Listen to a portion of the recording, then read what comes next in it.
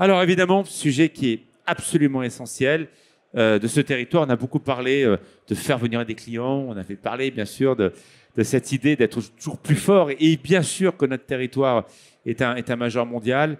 Mais, il y a un mais, il faut remettre l'église au milieu du village et remettre la marque employeur au cœur de la stratégie de recrutement en montagne.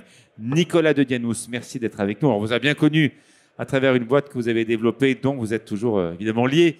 Mais euh, voilà, maintenant vous avez aussi une autre vie qui correspond aussi à votre propre aspiration. Et ça, vous allez m'expliquer pourquoi. D'abord, j'aimerais avoir à chacun, et on va faire le petit tour de tout le monde et je présenterai chacune des personnes à chaque fois, euh, un petit commentaire sur le titre de la table ronde. En quoi, pourquoi et pourquoi faire la marque employeur doit être au, au cœur de la stratégie de recrutement de la montagne? Merci pour l'accueil et euh, je di- directement à ta question. Euh, en deux mots, il vous a pas échappé qu'il s'est passé quelque chose euh, il y a 3-4 ans euh, et que on a vécu une accélération et une transformation des aspirations en revendications, pour reprendre d'ailleurs une maxime de Lionel, et que la crise sanitaire n'a été qu'un accélérateur d'un phénomène d'érosion de la confiance des salariés pour leur entreprise, des candidats pour les entreprises, globalement de la population française notamment pour le monde du travail. Et euh, vous connaissez peut-être le mythe du laquais. Euh, les Français ne sont pas, contrairement à ce qu'on pense, très intéressés par les postes touristiques. Le tourisme a du mal à recruter. Euh, on va développer ça tout à l'heure. Mais la, la solution à ça, c'est de tous se mobiliser et de travailler cet élément essentiel dont on va parler aujourd'hui, qui est la marque employeur, notamment pour la montagne, qui a des défis de recrutement qui sont supérieurs aux autres entités touristiques et territoriales françaises. Et on va bien sûr présenter cette mise en contexte dans quelques instants. Lionel Fasseur, merci d'être avec nous, président euh, d'Essentiel. On va expliquer ce que c'est, comment et avec quels acteurs vous êtes arrivé aujourd'hui à, à développer ce beau projet. Mais quand même, vous êtes un expert du tourisme, vous connaissez bien nos collectivités. En quoi ce sujet est essentiel pour le tourisme de demain? Alors, la, la question est bizarre, hein, honnêtement. Et moi, je pensais qu'on ferait salle comble, euh, parce que j'ai cru comprendre que depuis deux jours, il y a salle comble sur chacun des sujets. Et pourtant, ces sujets, c'est des sujets aussi de projection qui sont réels, mais qui sont, qui sont des sujets à 3, 4, 5 ans. Euh, là, on a un sujet euh, de l'année dernière, d'aujourd'hui, qui est juste le cœur du réacteur des entreprises de services. voilà. Donc, je ne vais pas enfoncer des portes ouvertes en disant qu'effectivement, voilà, c'est- c'est clé, c'est clair. Ça, c'est le premier point. Le deuxième point, c'est un actif euh, primordial comme les autres. Euh, le, le, le, le troisième point, c'est que même dans des organisations de promotion touristique, à un moment donné, on s'est posé la question est-ce qu'on va continuer à faire du marketing de clientèle et est-ce qu'on va pas basculer une partie de nos budgets sur du marketing employeur pour aller recruter parce que l'enjeu, l'enjeu, il est là, quoi. Voilà. Donc, euh, Allons-y. C'est clé. On peut rouler. Parfait. Alors, peut-être ce qu'on va faire. Maintenant, ça y est, tout le monde est là. Je remercie Blandine de nous avoir rejoints, qui a un gros programme. Euh, Nicolas, on va peut-être avancer sur la mise en contexte que vous avez prévue. Moi, j'aimerais bien qu'on réexplique toutes les thématiques et que, voilà, euh, tout le monde ne connaît pas tous ces sujets. Et moi, j'avoue, je ne suis pas un expert du sujet. Donc, euh, merci d'être bien pédagogue dans vos, dans vos propos. C'est important. Tout d'abord, de quoi parle-t-on? Et c'est pour ça que je me retourne vers Nicolas de Dianos avec les éléments que vous avez préparés. Alors, on, va, se promener un petit peu parce que la marque employeur, c'est un sujet euh, assez vaste qui, parle d'abord de, recrutement, qui parle d'attractivité, euh, qui parle aussi de, management. Euh, Il y, a- un sujet de management qui est, essentiel. Tu as parlé tout à l'heure de RSE. Je peux redonner à tous la définition de la RSE, hein, qui est l'intégration volontaire. C'est la, définition de l'Europe, de l'Union européenne. L'intégration volontaire par les entreprises de préoccupations sociales et environnementales à leurs activités et à leurs partenariats. Et euh, on est loin du compte quand même. Euh, mais la marque employeur pour une stratégie d'attractivité de recrutement en montagne, c'est pas que la RSE. C'est encore plus vaste que ça. C'est aussi la communication. C'est aussi ce que tu disais, Lionel, à l'instant. Alors moi j'ai listé, en partant des problématiques, quelques, points. Une problématique sectorielle liée au tourisme, euh, qui est plutôt, à droite. C'est la faible attractivité des métiers du tourisme, le rythme de travail qui est assez élevé, les salaires qui sont assez bas, euh, en station notamment les difficultés d'hébergement. Et puis à gauche, euh, comme un crash, euh, en face de ces difficultés-là, on a, on a une mutation du rapport au travail, on a une mutation du marché du travail, on a un, inversement en fait du rapport de force, et donc le, recruteur qui, devient à la merci des candidats, qui doit séduire les candidats et non, et non l'inverse. Et les candidats en face qui ont des aspirations, comme je le disais, qui sont presque incompréhensibles si on vient pas assez à ce genre de conférences et si on se renseigne pas assez, si on se forme pas assez, parce que le CDI n'attire plus. En fait, c'est un projet de vie. Bref, le constat dont on part, c'est que la montagne a plus de mal aujourd'hui à trouver des salariés qu'à trouver des clients. Je grossis le trait volontairement, mais c'est un peu ça. Alors, si on parle déjà du recrutement, vous avez euh, presque tous mis en place, et vous connaissez ces leviers pour recruter des salariés. On va après parler de qu'est-ce qu'on va leur dire et pourquoi on le fait, mais, mais d'abord, il y a des leviers, des leviers digitaux notamment, euh, LinkedIn en est un, Le Bon Coin en est un. Moi, je préfère les nouvelles approches que sont celles de Welcome to the Jungle, qui est une bible. Hein. Euh, je vous invite à, si vous avez besoin de, vous projeter dans, ce, dans, les nouvelles valeurs de recrutement, les nouvelles valeurs managériales et, comment on dessine l'attractivité de sa marque touristique et de sa marque de montagne, Welcome to the Jungle, c'est une bible. Et puis il y a d'autres leviers. Je pense notamment à TikTok, euh, pourquoi TikTok? Eh bien, tout simplement parce que sur les métiers du tourisme qui ont du mal à recruter, notamment les métiers assez opérationnels, notamment les métiers d'accueil, qui sont les métiers les plus difficiles sur le recrutement actuellement, eh bien, tout le monde n'est pas sur LinkedIn.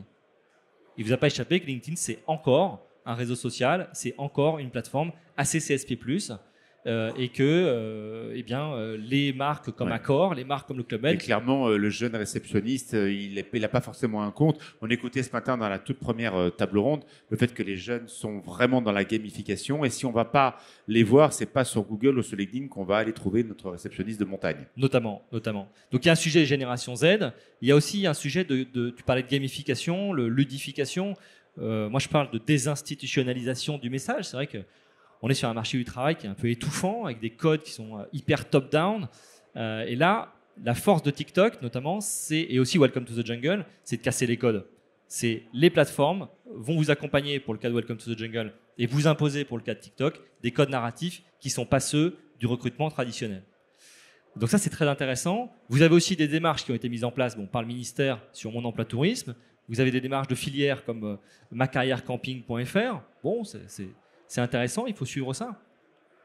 Euh, peut-être que la montagne aurait euh, intérêt à le faire. Je pense qu'on va, on va en entendre et vous avez des, beaux exemples à, nous raconter. Mais moi, là où je voulais mettre, euh, là où je voulais mettre l'accent aujourd'hui, c'est la problématique que cette jeune femme exprime dans cette, dans cette vidéo qu'on va écouter. Il faut qu'on parle d'un truc. Comment est-ce que nos parents, ils sont restés 20 ans, 25 ans dans les mêmes tafs à faire la même chose tous les jours, 5 jours par semaine, 35 heures par semaine, parfois même plus, pour des salaires même pas incroyables.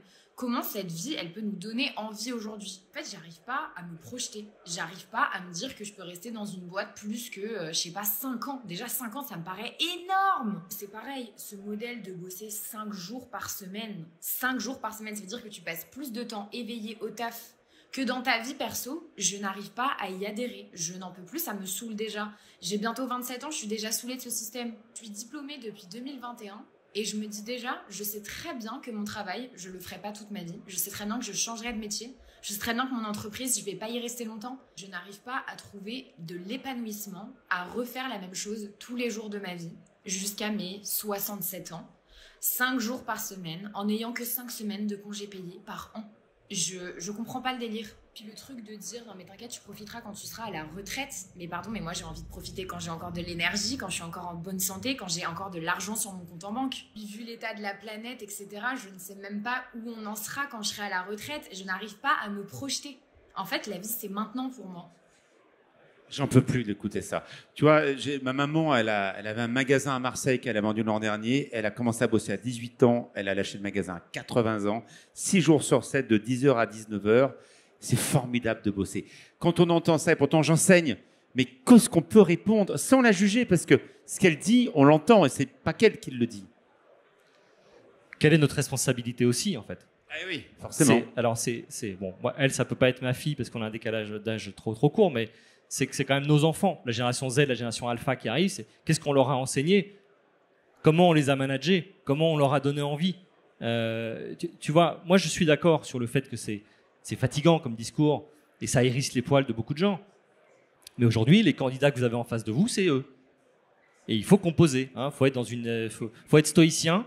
hein, et c'est c'est ça qu'on a en face de nous aujourd'hui quand on est en recrutement. Ça ne veut pas dire qu'elle n'a pas envie de bosser.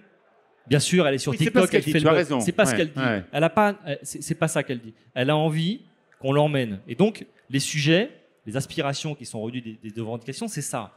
Aujourd'hui, en 2023, la réussite, c'est le temps libre. La réussite, c'est l'équilibre entre la vie perso et la vie pro. La réussite, c'est de bosser dans une entreprise alignée avec ses valeurs. C'est plus la sueur, l'argent, la possession matérielle, l'ascension sociale. Ça, c'est bof. Aujourd'hui, ce qu'on veut en tant que salarié, y compris sur d'autres tranches d'âge, c'est d'être écouté, d'être considéré, qu'on me fasse confiance. Voilà. Et ça, ça s'écrit en fait. Ça, c'est un projet d'entreprise. Ça, c'est un projet que certains d'entre vous ont mené. Et ce projet d'entreprise, c'est poser la plateforme de marque, c'est poser l'identité, c'est poser la stratégie de recrutement pour aller sur des sujets qui sont des sujets profonds, qui ne sont pas des sujets de baby-foot, ok? Qui ne sont pas des sujets de cafétéria, qui sont des sujets de pourquoi aujourd'hui en France devenir manager c'est une promotion, c'est pas une formation en fait. Devenir manager c'est une réussite, c'est un, un accessite, c'est un truc qu'on te donne parce que tu as bien travaillé. Mais devenir manager, c'est une formation en fait, c'est un talent. Et donc, quand on écrit ça dans une plateforme de marque et dans une stratégie d'attractivité, on pose les bonnes questions. Quelle est ma raison d'être? Quelle est ma promesse? Parce qu'en face, vous avez des gens qui vous posent des questions, et pas que des jeunes. Quels sont mes engagements sociétaux Lionel va en parler. Quelles sont mes valeurs partagées, fruit d'une réflexion collective Pas de trois élus qui se disent ça va mon blanc, j'en veux plus. Quel est mon onboarding? Mais Pardon, si nous écoutes. mais quand même, quand même, faut quand même pas se foutre du monde, quoi. Quel est mon onboarding? Quelle est l'accueillance? Quelle est la bienveillance? Quelle est la formation? Quel est mon droit à l'erreur? Y compris en tant qu'élu. Voilà, Et d'ailleurs, ils ne se l'accordent pas, hein, très souvent. tout à fait. Donc il y a trois chantiers. Ah oui, je vous ai mis quelques pistes parce que c'est pas un sujet qui euh, qu'on débarque là ici, comme tu disais, Lionel. Ça, fait deux ans, trois ans qu'on en parle et qu'on alerte. Euh, Il y, a- il y a- des groupes de discussion qui se sont créés. Comment vous voulez fidéliser les gens? Bah, payez-les déjà, formez-les et puis respectez-les. Parce que les premiers retours qu'on a, euh, des- des fuites dans les équipes, c'est des gens qui sont pas respectés, qui sont mal formés et qui sont mal payés. Et puis, euh, j'aime beaucoup euh, Gaël Ça, je Châtelain connais la pyramide, mais je ne connaissais pas ce qu'il y avait Gaël dedans. Châtelain, c'est un super, c'est un super consultant, c'est quelqu'un qui est passionnant, qui écrit beaucoup de choses et il a, il a- sur LinkedIn notamment, il a, il a posté cette pyramide de Maslow du monde de, de l'entreprise et du management. Le salaire, les avantages, la stabilité, c'est tout en bas, c'est la base. Il n'y a même pas de sujet. Et puis ensuite, comment on monte dans la pyramide de Maslow de du salarié, son implication, sa motivation, sa prise d'initiative et le sens qu'on donne à son travail. Alors, bien sûr, mais avec le contexte inflationniste que l'on vit aujourd'hui, euh, ce qui est en bas reste une base, mais devient même pas un élément de discussion. On a des recruteurs parmi vous, j'aimerais savoir comment vous réagissez, avec un coût de la vie qui prend mécaniquement 15% partout, et c'est pareil en montagne, c'est des sujets qui sont évidemment essentiels. En montagne aussi. c'est pas le premier driver. C'est une base de travail, c'est pas le premier driver. Aujourd'hui, la, la jeune femme qu'on a entendue, euh, les, salariés qu'on qu'on- qu'on voit engagés, motivés euh, dans le, le, le up, la, partie la plus haute de la pyramide, c'est pas des gens qui sont forcément extrêmement bien payés. C'est des gens à qui on a donné confiance, c'est des gens qui ont des, des leaders et pas des managers. C'est des, des gens qui, qui sont dans un bien-être au travail euh, très élevé. Je vois qu'elle piaffe d'impatience. Blandine Tridon, merci d'être avec nous, la belle montagne. Euh, moi, je voulais réagir déjà par rapport à la, à la jeune fille justement de 27 ans. J'ai cru m'entendre euh, quand j'avais euh, son âge. Non Euh, Vous même- avez été même- comme ça Même un peu moins, parce que, en fait, moi, quand j'avais 15 ans, j'aim- j'aimais beaucoup la, la transmission, la pédagogie. Et à un moment, je m'étais dit, tiens, moi, je, me, je, ferais bien, je ferais bien de l'enseignement. Puis alors là, je me suis dit, ah, la perspective de, de, de, de faire les mêmes cours dix ans après, etc., même si c'est pas avec les mêmes élèves, insupportable. Eh bien, quelle a été ma solution? J'ai fait du tourisme. Et euh, je me suis jamais embêtée dans le tourisme. Et en fait, au final, moi qui me disais ça, c'est insupportable, eh ben, j'ai fait 18 ans dans ma première entreprise. Et là, maintenant, j'en suis à 20 ans de la belle montagne depuis. Et dans ma première entreprise, euh, Maeva, pour ne pas la citer, j'ai fait 10 métiers différents. Donc c'est ça aussi. Bon, euh, c'était juste pour répondre. par vous avez raison, vous êtes là pour ça, bien évidemment. Euh, sur cette, euh, parce que vous, vous recrutez, hein, vous dirigez le groupe La Belle Montagne.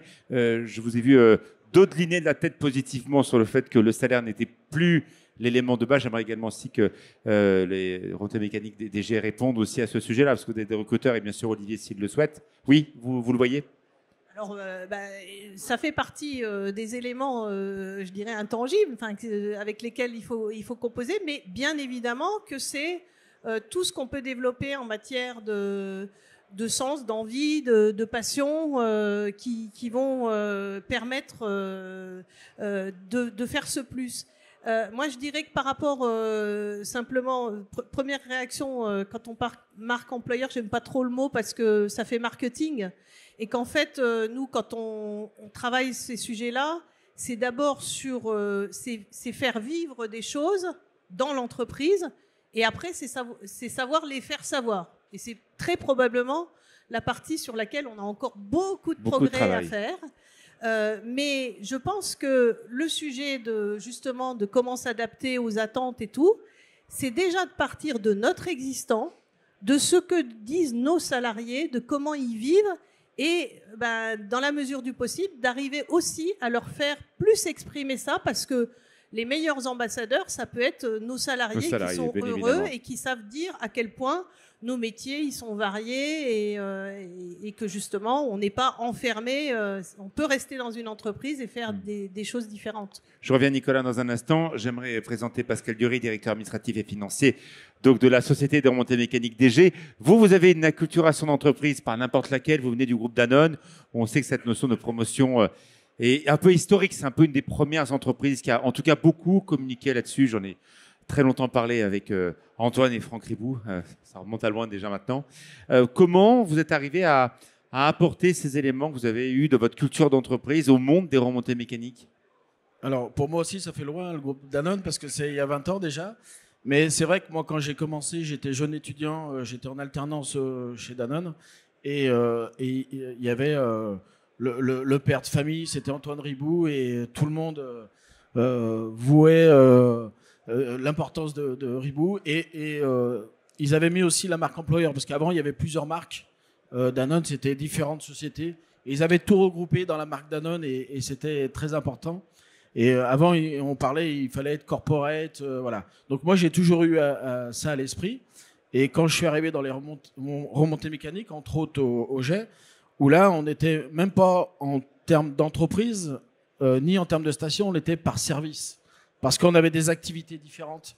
Et un des premiers rôles que j'ai eu, c'était de dire, on fait tous partie de la même entreprise.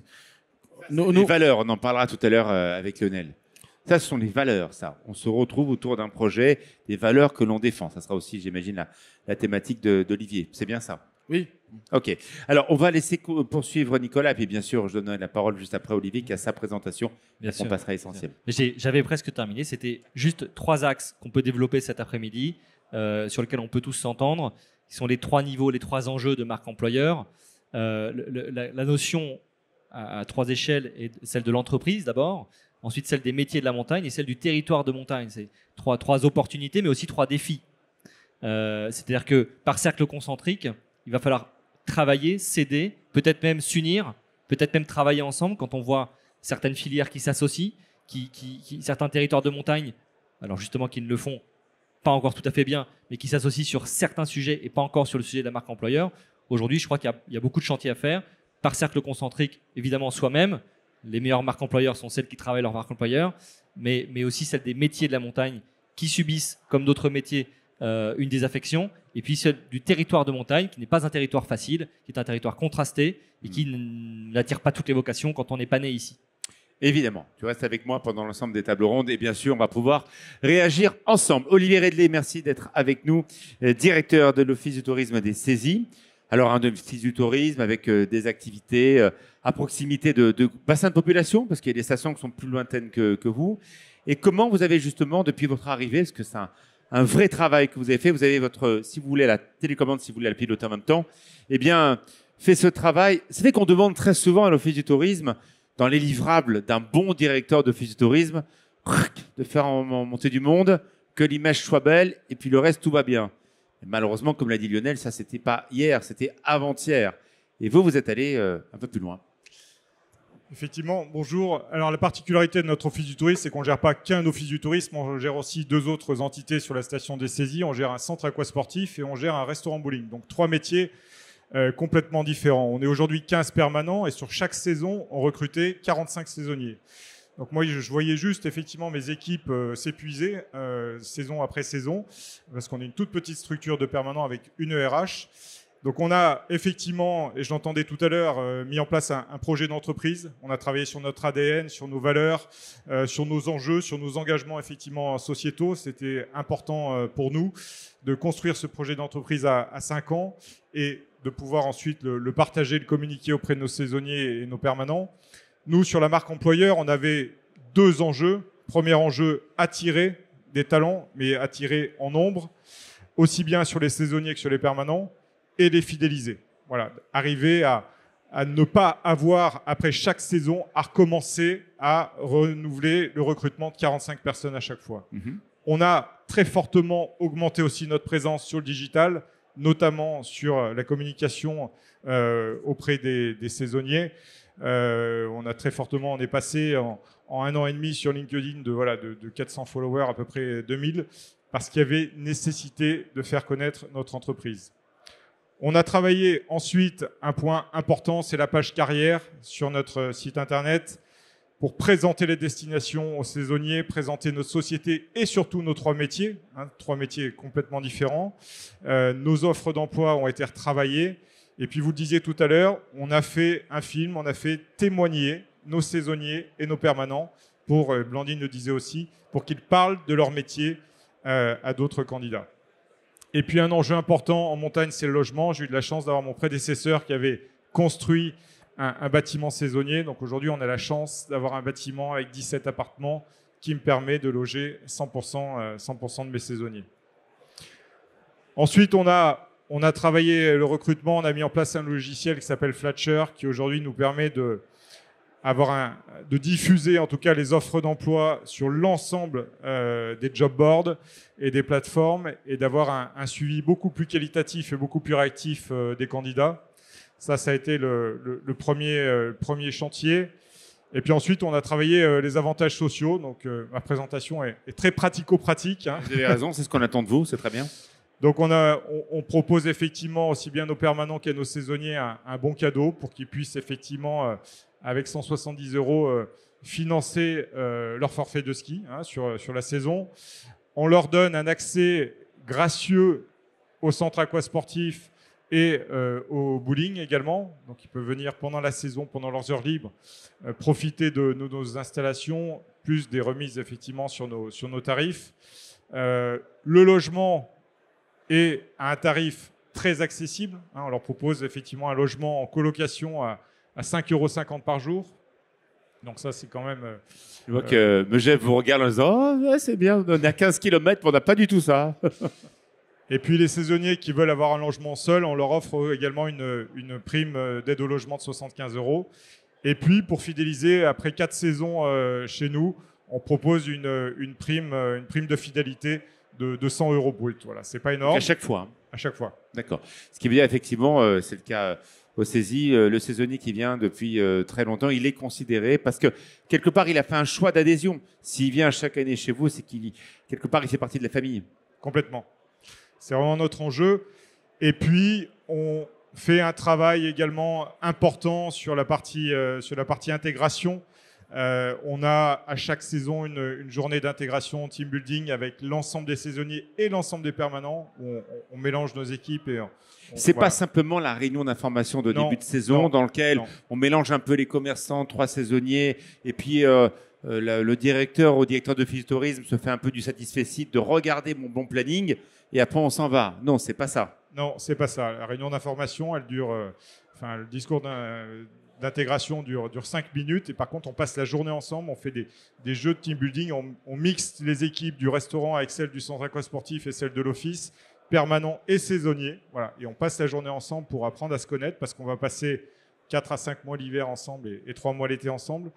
Euh, on déjeune ensemble. Euh, ensuite, on a les RH qui, font effectivement une, présentation des, avantages sociaux de l'entreprise. Et puis, euh, ensuite, ils finissent la journée par des formations au poste de travail.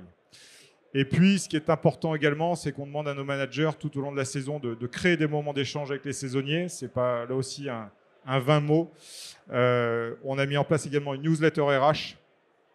Pendant la saison, on communique auprès de nos saisonniers sur l'actualité de l'entreprise, sur nos résultats, sur nos objectifs, sur l'atteinte de nos résultats, euh, parce qu'on leur en parle aussi en début, de, en début de saison et on les tient informés tout au long de, tout au long de la saison. Et j'en parlais, pour nous, le, le management, effectivement, l'intégration est quelque chose d'important. On a aussi, sur les saisies, mis en place un, un accord de modulation. Euh, on avait trois conventions collectives, le tourisme, le sport. Oui, c'est trois métiers différents. Hein. Voilà. Et l'hôtellerie-restauration, euh, grâce à un CSE euh, constructif et positif, on a réussi à, créer cet accord de modulation qui nous permet d'avoir euh, des semaines à 35 heures et aussi des semaines à 48 heures et voilà, pouvoir gérer les, temps de, charge avec cet accord. Donc ça, c'est assez chouette. On a aussi mis en place une charte télétravail qui nous permet en saison d'aller jusqu'à deux jours de télétravail et en hors saison d'aller jusqu'à quatre jours. Alors, juste une petite pause, j'aimerais quand même que Blandine réagisse parce que là, la commission sociale, à Domaine Scap de France, forcément, on est dans des accords de branche qui sont très différents. Une petite réaction à ce que vient de dire Olivier là? Moi, je ne suis pas à la commission sociale. Hein, mais bon. Ah, je pensais, je pensais à DSF. Non, c'est présidence de commission juridique fiscale. Juridique. Ah, je pensais que le social audit est un sujet que tu connais très bien aussi. Social dans les remontées pour votre avis.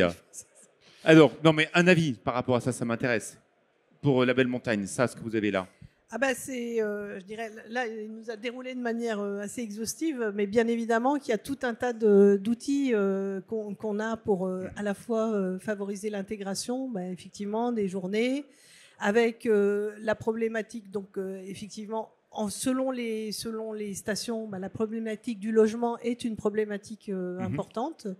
Euh, qu'on s'efforce euh, de solutionner. On n'a pas toujours les. Il y a des endroits où ça se passe bien, il y a des endroits où on a plus de mal à trouver des solutions. Mais en tout cas, le principe, c'est de dire à l'arrivée, quand on a des gens qui ne sont pas du pays et qui arrivent, c'est de, ouais, de leur permettre cet atterrissage et ce, ce temps d'inclusion et, et donc d'avoir des solutions de logement à proposer euh, dans ce sens. Euh, sinon, ben après, on est sur des, des, des je dirais, du, du, du travail de, de, long terme quand euh, on parle de euh, d'inclusion. Ben, des, des, démarches qu'on fait depuis très longtemps euh, chez La Belle Montagne, c'est les démarches de tutorat, donc euh, d'avoir des gens qui plus, je dirais, qui ont l'occasion d'exercer leur pédagogie, de transmettre. Et ça, ça fait partie aussi du sens, que ce soit donc pour les salariés qui sont là depuis longtemps ou pour les salariés qui, arrivent plus récemment. Et puis euh, après, il y a des démarches aussi euh, dans, les démarches de fidélisation. On a des démarches lourdes qui sont pas forcément, euh, je dirais, justement sur lesquelles nous, il faut qu'on arrive à trouver comment mieux communiquer. Euh, mais euh, par exemple, donc sur des démarches d'écoute euh, individuelle systématique de tous nos salariés euh, je ne parle pas des entretiens classiques, mais des, une écoute sur la santé et sécurité, euh, qualité de vie au travail. Donc ça veut dire que chacun de nos salariés va être entendu par quelqu'un qui est formé, avec lequel il va pouvoir euh, échanger sur qu'est-ce qui te fait mal, qu'est-ce qui ne va pas, et sachant que celui qui l'entend a la capacité pour des irritants, donc c'est défini jusqu'à un certain niveau de traiter directement le sujet, de pouvoir intervenir. Et puis autrement, bah, ça nourrit des plans d'action, après des temps de management collectif, des partages, etc. Et ça, c'est des démarches du long terme, mais c'est des démarches qui portent vraiment leurs fruits sur le sentiment des salariés d'être entendus. Et, euh, et, et, et, aussi, ben, ça permet tout simplement de voir ce qu'il faut faire pour, euh, pour, pour faire évoluer les choses. On va parler des valeurs hein, dans quelques instants, bien sûr, pour rattraper euh, donc euh, Lionel et, Pierre. Euh, Pascal Dury, forcément, là, je suis dans votre cœur de métier auprès de votre société de remontée mécanique. Là, quand vous voyez, euh, c'est ambitieux, en tout cas, on le voit bien, il y a une vision très 360 du sujet. Voilà, donc, quelle vision vous avez? Alors nous ça on le fait depuis euh, 10-15 ans, hein. ça fait longtemps qu'on le fait avec euh, dans nos entreprises avec euh, Curb de France. Euh, si je prends une petite anecdote, l'accord de modulation nous on l'a depuis 10 ans, 15 ans, avec des périodes hautes, des périodes basses. Euh, mais maintenant, les, les salariés veulent plus. Je prends un exemple. On, on organise Rock the Piste avec IAM. Un jeudi, tout le monde veut son jeudi dans l'entreprise. Voilà. Ça, c'est une vraie question dans l'enquête Voilà. de Mince avant Mont Blanc que l'on a vécue, euh, donc partout sur le territoire. On s'est bien rendu compte que les, les salariés disaient non, on veut pas simplement travailler, avoir un jour off. Non, il faut nous faire participer, ce qui est tout à fait logique, aussi à la culture euh, et aussi pouvoir participer aux grands événements euh, et parfois affréter un bus pour les faire descendre l'été euh, sur les grands festivals, notamment, euh, euh, notamment le festival juste à côté de à Aix-les-Bains. Euh, voilà, c'est pas simplement j'ai mon jour off je regarde la montagne, je vais éventuellement me baigner, et puis après je repars. Non, je veux aussi être un acteur du territoire. Et c'est ça qui a changé parce que avant le Covid, les salariés n'osaient pas demander leur jour. Ils allaient travailler, ils avaient la conscience du travail. Maintenant, avec la nouvelle génération, ils viennent, ils veulent un jour. Et, et- et- et c'est là qu'il faut qu'on fasse face à cette nouvelle génération, comment les manager, comment les gérer. Hmm. Et c'est les difficultés qu'on rencontre. hein. J'aimerais qu'on parle de formation. Formation et plan de développement des compétences internes, ça veut dire aussi passer d'une saison à l'autre. C'est évidemment le cas pour les, pour les cadres, mais c'est vrai que quelqu'un qui vient chaque année en saison, ben oui, il peut se dire qu'il peut se former. Euh, le peu de temps discontinu qui reste sur le territoire, il a aussi un droit à la formation. Oui, je vais, je vais enfoncer une porte ouverte, mais aujourd'hui, euh, l'en- l'enjeu de la formation, il est sur les permanents, parce qu'aujourd'hui, pour mener tous ces projets, effectivement, et tout cet accompagnement, euh, c'est aussi accompagner les cadres et les non-cadres, en tout cas de l'entreprise, euh, sur du management, sur du développement personnel, mais c'est aussi accompagner les saisonniers. Aujourd'hui, on va réussir à fidéliser des saisonniers parce que, même s'ils viennent que pendant 4 mois, on va débloquer une Ça partie rejoint du ce plan qu'a de formation tout sur à le l'heure. sujet, quoi. Hmm, D'accord. Et on Vous va les avez terminé accompagner. votre, votre présentation? Et terminé. Parfait. Alors, je me retourne maintenant. On va parler des valeurs parce que c'est un sujet qui est évidemment euh, essentiel. On a donc euh, un des grands exposants ici, qui est Poma, groupe mondial, euh, à quelques kilomètres d'ici. Alors, j'ai avec moi donc euh, Pierre, euh, Pierre. Merci d'être avec nous. D'abord, une petite réaction à tout ce qu'on vient de voir. Vous êtes une entreprise mondiale avec des collaborateurs qui sont évidemment dans des métiers très précis. Forcément, c'est la division d'un mondial. Est-ce que dans votre entreprise, tout ce qu'on vient de dire là, c'est une culture d'entreprise que vous partagez, dans laquelle vous accompagnez vos salariés même si vous êtes euh, un pas de côté dans le commercial, mais j'imagine que vous avez un œil sur ces pratiques-là. Oui, merci. Euh, je vais vous partager quelques, témoignages effectivement de, comment on a vécu, on va dire, ces deux dernières euh, années chez Poma. On a été ben, très très impacté par cette crise Covid. hein. Moi, j'ai vu des gens, je vais essayer d'être très pratique, hein, mais des gens qui ont rentré leurs unités centrales dans leur voiture, fermé le coffre et qui sont partis chez eux. Et on a donc, par exemple, sur notre siège de Vorep, 450 personnes qui sont parties chez eux avec, avec leurs ordinateurs et on s'est revus deux mois après. Euh, bon, on n'avait jamais vu ça. Euh, malgré tout, on a quand même réussi à délivrer ce qu'on avait à délivrer dans la saison. C'est quand même assez remarquable. hein. Ça veut dire qu'on a des systèmes aujourd'hui qui nous permettent de travailler, euh, on va dire, à distance de façon efficace. Donc ça, c'était très bon. Par contre, on s'est aperçu qu'au retour, il y a eu quand même pas mal de dégâts. C'est-à-dire comment, en termes de management, on accompagne nos gens dans, cette, euh, dans cette façon de fonctionner. Donc on a, euh, à l'issue de tout ça, ben, mis en place euh, pas mal de choses effectivement pour essayer de d'accompagner effectivement l'ensemble de nos, de nos collaborateurs euh, dans, dans donc, le télétravail avec la mise en place d'un accord, dans euh, on va dire un plan massif aussi de, de formation à la fois sur le management parce que c'est- un vrai sujet comme vous l'avez indiqué euh, c'est pas c'est pas juste une récompense c'est un vrai métier et euh, on a vu qu'on avait des lacunes là-dessus, donc on a mis en place des plans massifs de formation là-dessus. Et puis, ben, je pense qu'il faut, euh, il faut effectivement donner des perspectives à nos, à nos employés, des perspectives sur le long terme, Ouais. sur la durée. Et aussi des, des croyances de l'entreprise, des valeurs de l'entreprise. Euh, je me laisse poursuivre dans un instant. On va parler euh, d'enfance et montagne. J'aimerais juste qu'on revienne à ce qui s'est passé après le Covid, parce qu'on a plusieurs destinations. On s'est rendu compte, on l'a vécu. Moi, je l'ai vécu euh, auprès d'une entreprise pour laquelle je travaille de temps en temps, qui est Club Med. Lorsqu'effectivement, il a fallu euh, faire sortir les 14 000 euh, donc, euh, clients, euh, le fameux 13 mars au soir et les X milliers de géos qui sont au milieu. Euh, l'entreprise a fait un boulot vraiment de dingue parce qu'on s'est retrouvé. et Personne n'avait forcément vu, en tout cas sur deux populations qui sont les Turcs et les Marocains, parce qu'il y avait plus vous vous souvenez, hein, il y avait plus d'avions, enfin, etc. Et il y a des gens qui sont venus et c'était tellement évident, mais les choses sont passées comme ça. Ils sont allés voir leur manager en disant mais rentre chez toi, on va te payer le billet d'avion. Il y a des, gens, mais, moi j'ai pas de chez moi. Moi ça fait 20 ans que j'enchaîne les saisons les unes après les autres et tu me dis que tu me payes mon, billet d'avion pour rentrer chez moi, mais moi j'ai pas de chez moi. Mon chez moi, c'est de passer d'une saison à une autre, d'une autre à une saison. Et là, et on a eu des témoignages très clairs auprès des employés de, de on a eu des géos des jeux qui nous ont dit, mais ça a été formidable parce qu'à ce moment-là, on a vu à quoi c'était, enfin, comment était une grande entreprise et comment une grande entreprise a pris soin de ses salariés alors qu'on les renvoyait vers nulle part, Bandine Tridon.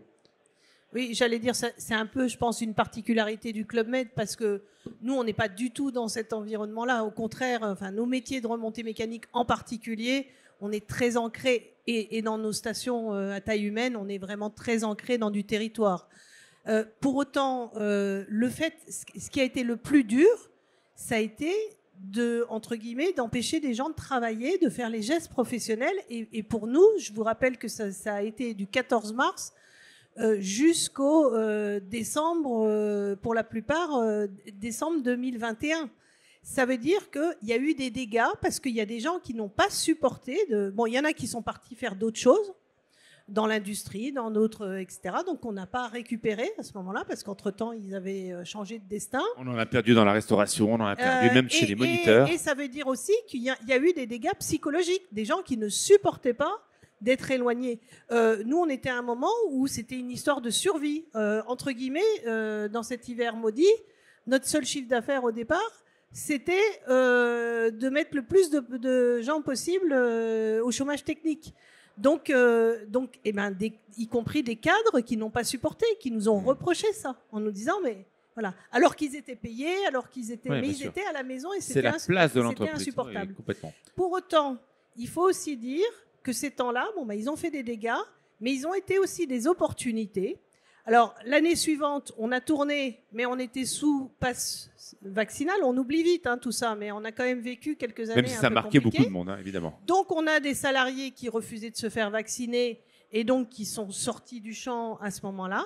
Eh bien, je dis, paradoxalement, ça a pu être une opportunité pour un sujet qui, dans le sujet de l'attractivité employeur, est important dans nos métiers euh, plus techniques et plus montagne c'est aussi, par exemple, de faire rentrer des femmes dans les métiers. Euh, alors, euh, bon, bah, on, a, Vous avez fait une contrainte, une force. partie-là, c'est de dire, bah, moi, je, moi-même, euh, j'ai, refait les chiffres en me disant, tiens, combien on a de femmes pisteurs secouristes ou etc. Par on en parlera avec les sisters juste après. Cet exemple-là, les pisteurs secouristes, sont des métiers où il y a très peu de turnover parce que en général, ben, ceux qui sont là, ils restent en place, etc. sur et le fait qu'on ait eu, ça nous a permis d'ouvrir et d'avoir, par exemple, plus de plus de profils de ce type. Et d'en faire. C'est comme toujours, les bouleversements, euh, euh crise, hein, c'est, euh, c'est, enfin, danger, opportunité, et ben on a, aussi l'occasion de, de, revoir des, les choses. Alors j'aimerais qu'on parle de mécénat. Euh, Lionel Fasseur, merci d'être avec nous, on va parler d'essentiel.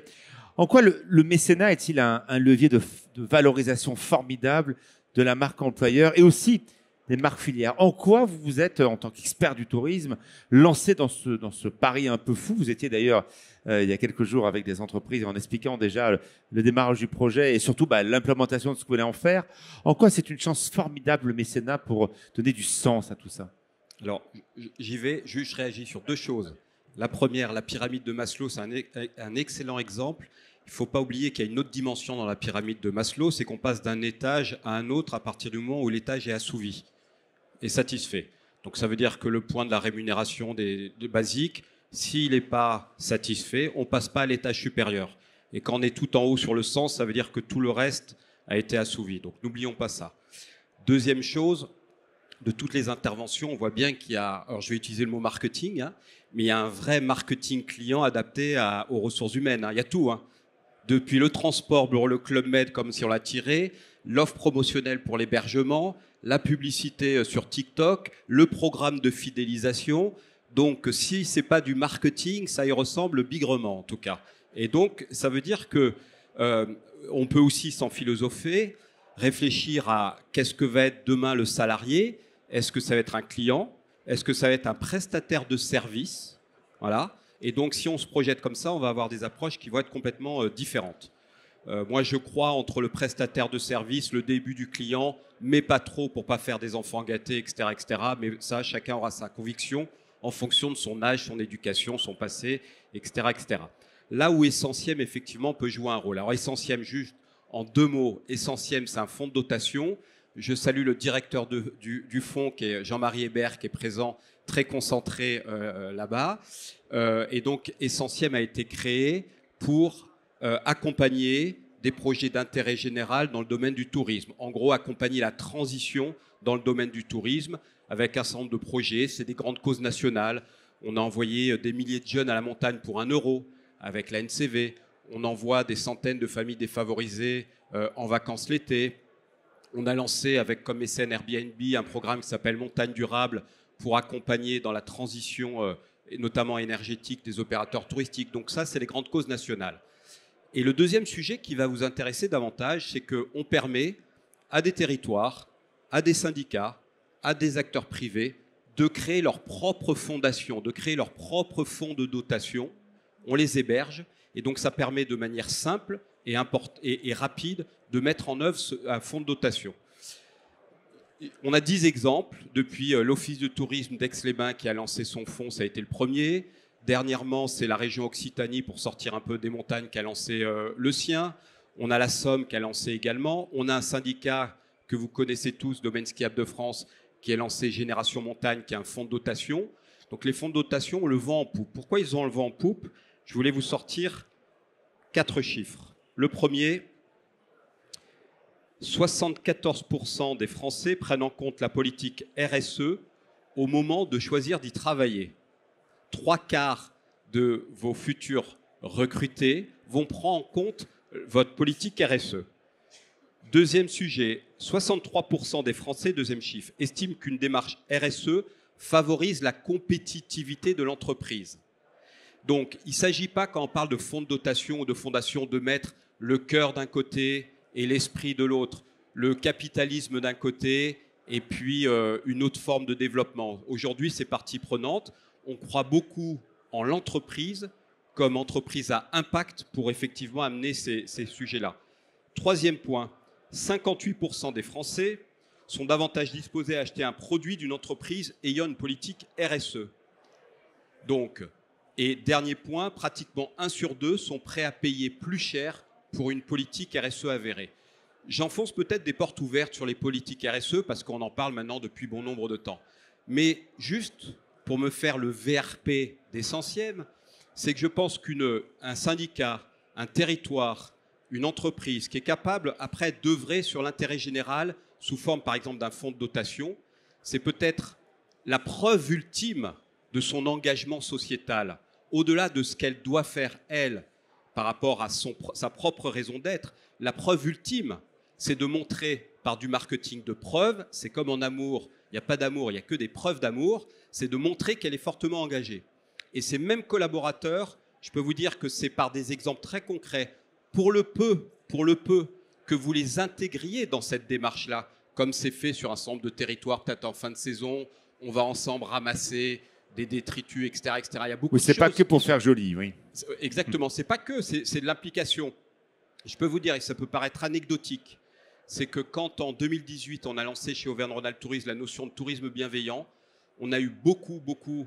Ensuite, on a eu des recrutements et tout le monde nous disait en gros, les conditions étaient bonnes, les conditions de travail, les conditions salariales. Je viens vous voir parce que vous avez lancé cette vision-là. Voilà, donc d'où l'importance de la vision stratégique affichée d'une entreprise. Et ça peut être au travers d'un fonds de dotation, notamment pour amener des preuves concrètes euh, vis-à-vis de ces politiques de recrutement.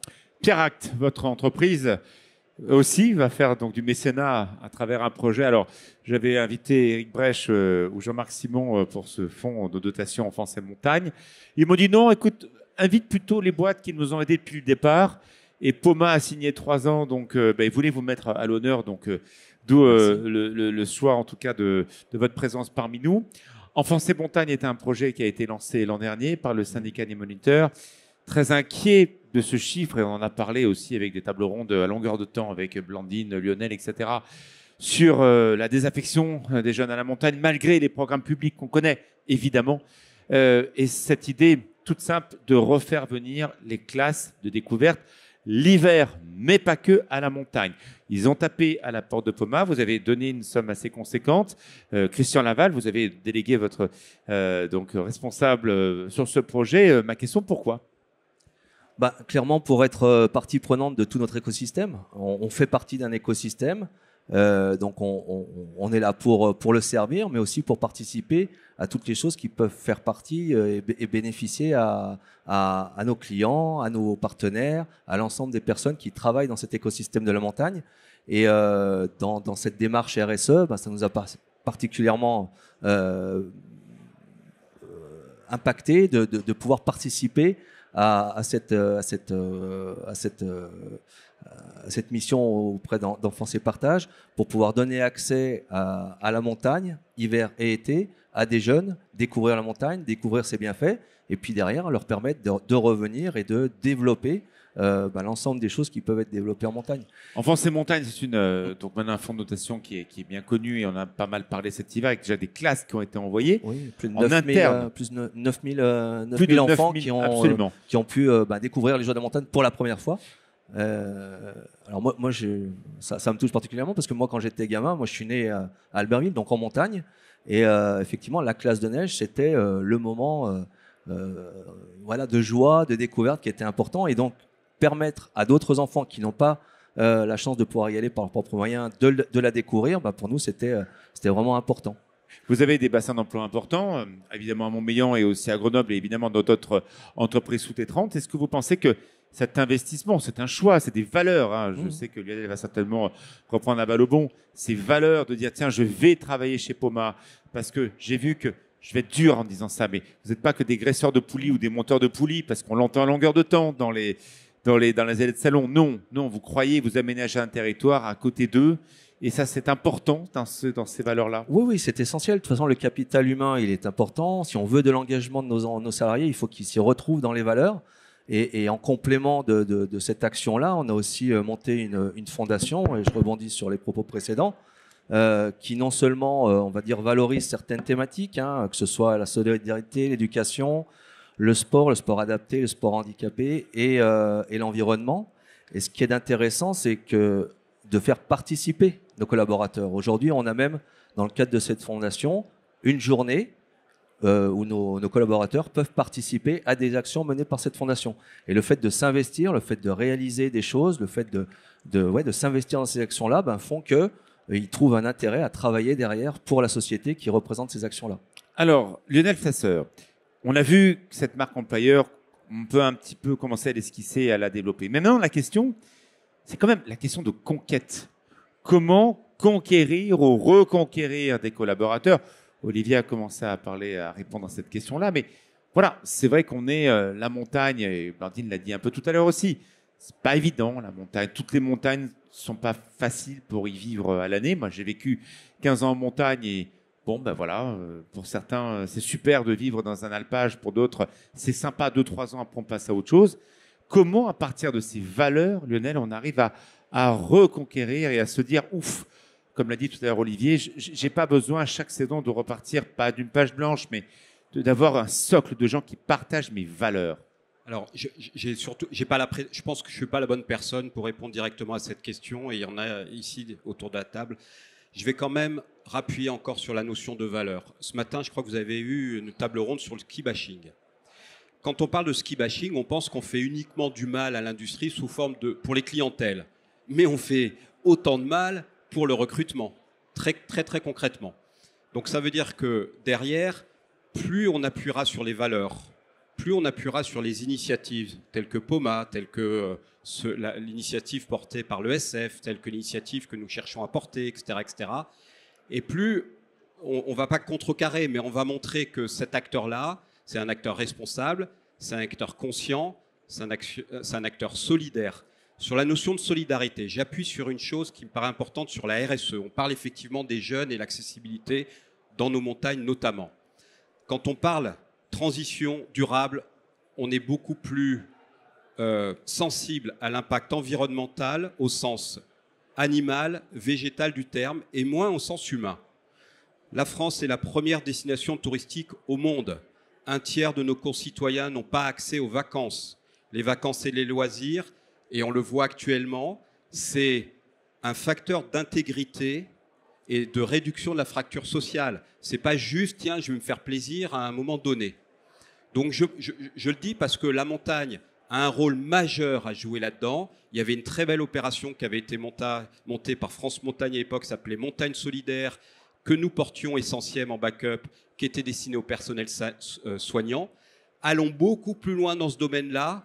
Euh, le Covid s'est passé, on a encore autre chose. Prenons des grands combats tels que ceux-là, portons-les, et ça fera partie de, c'est plus de la marque employeur, c'est de la marque filière, pour aussi envoyer d'autres échos que ceux qu'on euh, veut bien nous servir, mais vous en avez débattu ce matin. Donc, je, peux uniquement apporter ma contribution Et en importante. Sur, sur, cet je angle-là. vois que Blandine Tridon voulait rajouter un élément. Non, je, voulais rajouter, par, bon, j'ai écouté avec beaucoup d'attention vos chiffres, c'est euh, encore plus fort que ce que je pensais en, pourcentage.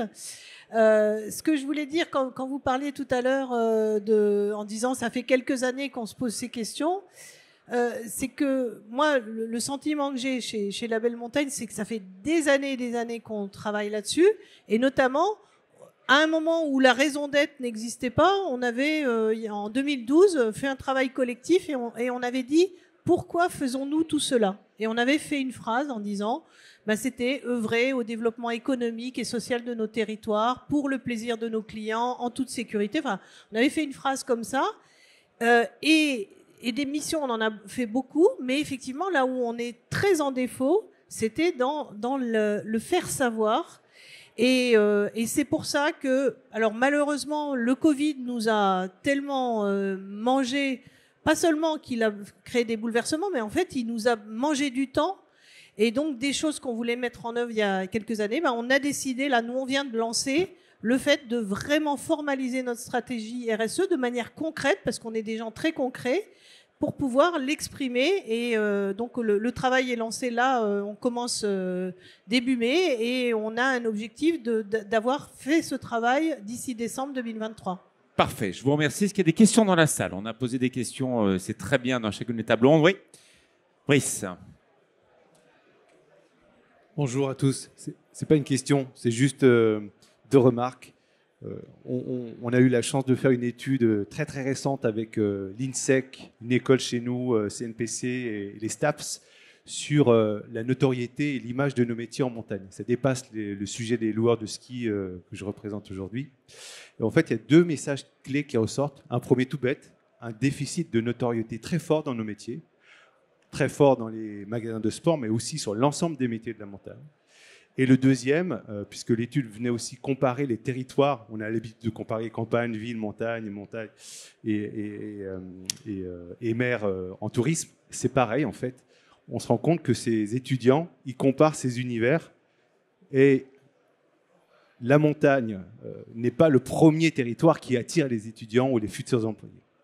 Ils sont d'abord attirés par la mer et la ville, et pour des raisons qui sont assez simples et qui nécessitent aussi qu'on travaille là-dessus, c'est l'offre, euh, l'offre qu'il y a autour du travail. Qu'est-ce qui se passe quand il n'y a plus d'activité dans une station, etc. Donc il y a aussi un enjeu pour nos stations, nos maires, etc., de dynamiser l'offre péri-travail euh, dans les stations. Oui, c'est intéressant, merci Brice. Quelqu'un veut répondre à ce sujet-là, Olivier? Non, je rejoins, je rejoins Brice. Effectivement, euh, on a, nous, on laisse notre centre aquasportif ouvert sur l'intersaison parce qu'effectivement, des gens restent sur le territoire. D'ailleurs, par rapport au logement, tout à l'heure, on se rend compte qu'il y a une tendance aussi. On a de plus en plus de saisonniers qui nous demandent d'une intersaison sur l'autre de rester dans leur logement, de rester sur le territoire. Donc, on, met en place effectivement des, ouvertures des équipements sportifs pour qu'ils puissent continuer à avoir une vie, une vie sociale et sportive voilà, pour leur donner envie de rester sur le territoire. Mais c'est effectivement ce que tu évoques, un, enjeu fort. Est-ce qu'il y a d'autres interventions, des questions, des pourquoi pas un partage d'expérience parmi vous tous? Bien, mais je vais donner la conclusion, le mot de la fin Nicolas de Dianous, euh, voilà, qui a fait cette mise en contexte et donc je qui a noté plein de choses pendant cette table ronde. Bon, on voit en tout cas que le Covid a accéléré des tendances sur ces sujets. Hein, vous l'avez tous dit. Euh, à peu près, même si quand même les choses avaient été quand même démarrées auparavant. On sent l'envie, on sent la volonté, on sent qu'il y a un, territoire à convaincre. Et je reviendrai sur euh, ces jeunes qui disent oui, ben moi, euh, je reprends Club Med, c'est pas parce que voilà, mais aller à la montagne ou aller euh, au Club Med l'été, ouais, ben, je préfère aller l'été. C'est compliqué pour le centre de recrutement qui est à Lyon avec 5000 dossiers qui arrivent par an. Bah non, clairement, euh, aller à la montagne l'été, c'est pas ce qui arrive en, top of the head. C'est évidemment la première chose, c'est la mer et, euh, loin. Donc comment, euh, comment essayer de gagner encore euh, de la rapidité, de l'engagement et leur montrer que c'est formidable de vivre en montagne? Je pense que les chiffres sont, sont assez édifiants et assez inquiétants aussi parce qu'on a beaucoup parlé du passé, euh, de nos empêchements avec le Covid. Euh, il est temps de penser à l'avenir. Il, est temps vraiment de se dire que les chiffres sont très mauvais quand même. La réalité, c'est que les chiffres sont très mauvais. La défiance envers les entreprises, elle est énorme. La défiance envers la, montagne, elle est, elle est vraiment très importante. Donc il est temps de prendre le sujet à bras le corps. Ça y est, ça commence. C'est des très belles initiatives. On va pas se flageller euh, aujourd'hui, c'est pas le but, mais il faut y aller quoi. Il faut y aller sur les plateformes de marque, les politiques RSE, euh, euh, les projets sociétaux, euh, les projets d'accueil et d'onboarding, les projets d'offboarding aussi. Qu'est-ce qui se passe quand quelqu'un quitte la structure? Est-ce qu'on laisse la personne seule comme ça? Et puis le fameux faire savoir et savoir-faire. Il y a un savoir-faire, ça y est. On, on- on commence à prendre conscience des problématiques de management et d'accompagnement des managers. On commence à prendre conscience, mais c'est encore un peu limite, de, de l'impact de, euh, de- d'élus euh, parfois déplacés euh, sur euh, des décisions qui ne sont, qui sont pas les bonnes. Euh, et on a aujourd'hui la possibilité maintenant de faire savoir ce travail-là, de le faire connaître, de valoriser De les excellentes Mm. initiatives. Et là, on est vraiment dans un sujet de communication, de valorisation. Ça passe par l'e-advocacy, enfin, l'advocacy, donc les, le- le- comment on, on- on- on- on met en scène et comment on, favorise euh, la parole du salarié, comment les stratégies, par exemple, sur LinkedIn doivent sortir de le top-down, la marque parle, puis les salariés commentent. Non, donnez la parole à vos salariés, disparaissez, marque, laissez vos salariés parler, Euh, laissez ceux qui font parler et partager ensuite leur message. Mais il y a des chantiers euh, considérables. Je pense qu'il y a vraiment un sujet de communication et un sujet d'adressage de, de tous ces magnifiques savoir-faire à leur cible. Et, euh, et je pense que ça démarre par les très jeunes. J'aimerais qu'on applaudisse très fort l'ensemble de nos intervenants. Applaudissements, s'il vous plaît, Nicolas de Dianous, fondateur de NS4 Conseil. Un grand merci également à Lionel Fasseur, essentiel, Blandine Tridon, directrice générale de la Belle Montagne, Olivier Redley, euh, directeur d'Office tourisme des saisies, Pascal Dury, directeur administratif et financier de la Société de remontée mécanique DG et bien sûr Pierre Acte Poma. Merci beaucoup à vous tous.